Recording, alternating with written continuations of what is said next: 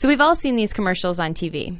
Every night, actors are trying to sell us everything from prescription nasal sprays to depression drugs. Companies like Merck and Pfizer spend billions on these ads every year. But drug ads are different than other commercials because they have to, by law, warn viewers about potential health risks.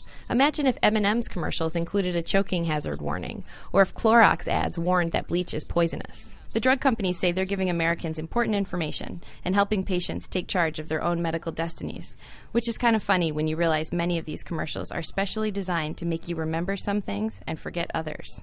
In this ad for Vytorin, an anti cholesterol drug, check out how the simple benefit message is repeated slowly with handy visual aids throughout the first 30 seconds. From mom's lasagna, extra cheesy, and your pop, Petey.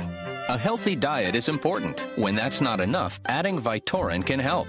Cholesterol comes from two sources food and family. Now listen to the information about side effects, which comes between seconds 33 and 51. Cognitive scientists and ad makers know this is the section viewers are most likely to forget.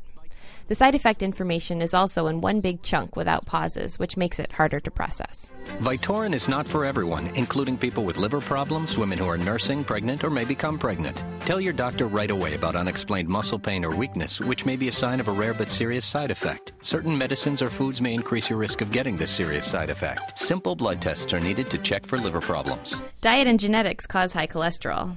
But if you take Vytorin, what are the risks? If you can't remember after watching this ad, you're not alone.